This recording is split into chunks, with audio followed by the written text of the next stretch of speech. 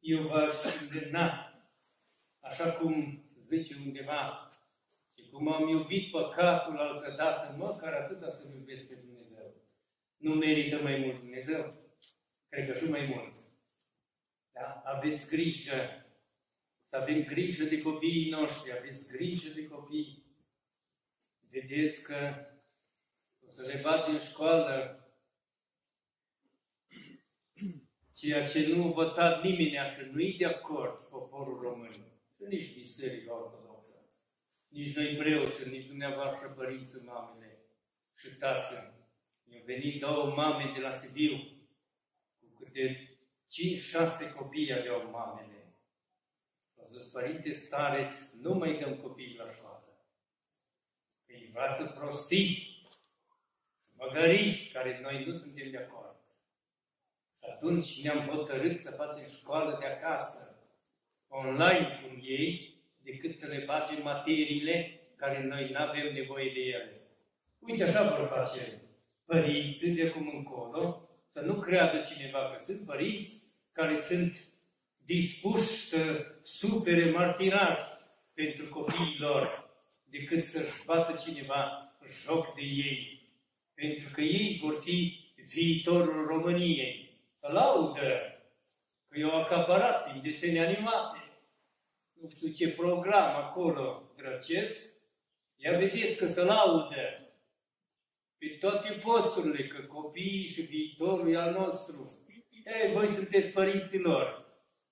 Voi hotărâți dacă îi mai lăsați să se uite acolo, la desenele alea animate unde numai crimă și omor și numai curvișaguri și hoții și spurcăciuni le arată. E, interzicem. Nu ne mai uităm acolo. Țineți-le și să bage faliment. Că altfel, dacă nu ascultați de glasul bisericii, de glasul lui Hristos și de glasul duhovnicilor, veți asculta de glasul năcazului și al greutăților. Veți asculta. Că veniți deja destui la mine unde îmi spuneți că copiii nu vă mai ascultă. Nu o să vă mai asculte. Că nu v-ați făcut datoria când a trebuit o mamă să se bage în foc și în apă să ții minte pentru copilul ei. O zis mama către mine, Doamne, odihnește-o în pace. Dragul mami, v-am ferit de toate năcazurile, relele și spurcăciunile din lumea asta dar din mânuri rele nu v-am putut feri. Să țineți minte lucrul acesta. Din mânurile cele rele nu v-am putut feri. Ei, mama postește, mama se roagă, mama plânge zi și noapte și scoate copilul și din foc, și din apă, și din iad, și din boală, și din turbare, și din răutăți, scoate mama copilul. Mama și preot să țineți minte. Când se întâlnește mama cu preotul, acolo e flacără. Flacără de dragoste, că nu pot să zic altcumva.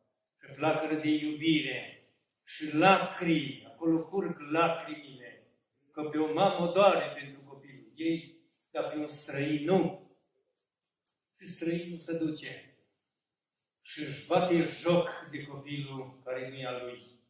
Uitați-vă dumneavoastră cum plâng acum copiii, fetiste furate, duse la cortișaguri, că nu știu cum să le mai zic, și la păcate mari, copilași, tineri, dispăruți de acasă, nu mai știe nimeni de ei.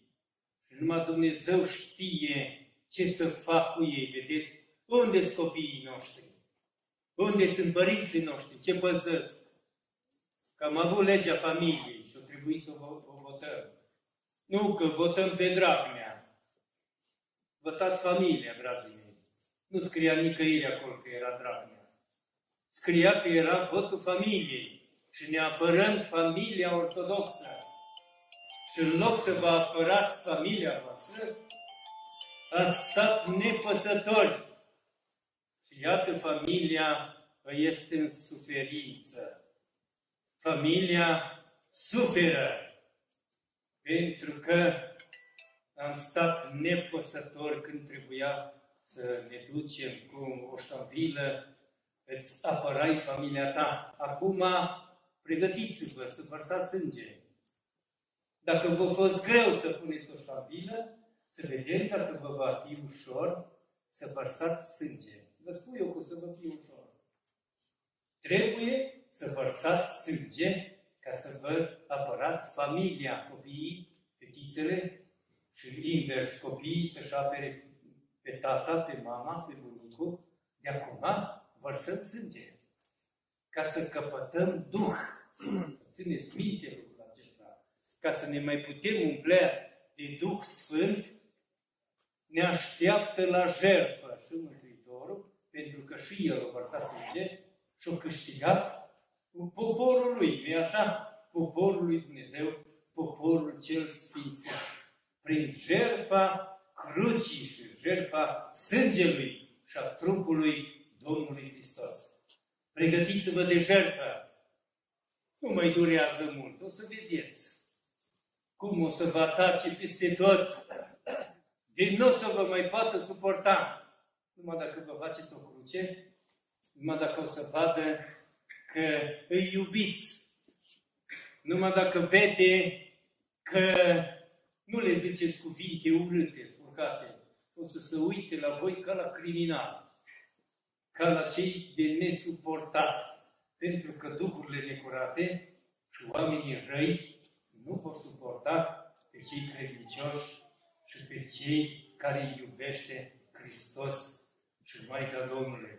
Pregătiți-vă și să vă pregătiți cu drag. Pentru că toată jertfa, chiar de azi dimineața ați văzut, cu ploaia, ce jertfă frumoasă, să stai acolo, să suferi ca să vie Hristos în sufletul tău. Și eu mă gândeam că dă Dumnezeu de sus cu aghiazmă și spală păcatele tuturor celor care au fost aici și-au suportat să le spere păcatele, să se ducă la vale, așa, și să rămâneți curați, plăcuți înaintea lui Dumnezeu.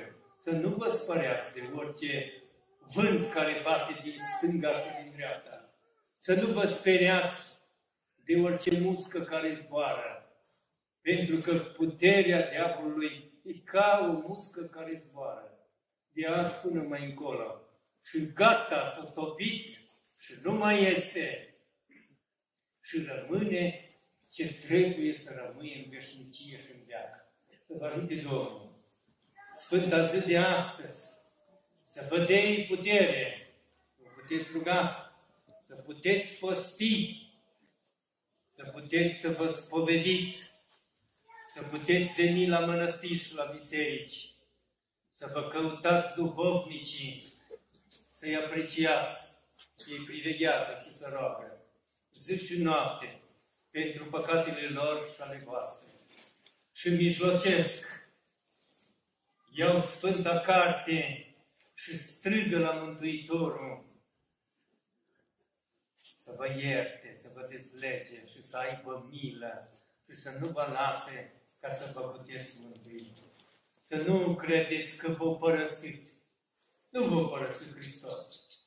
Nu ne-a părăsit puterea și harul Lui.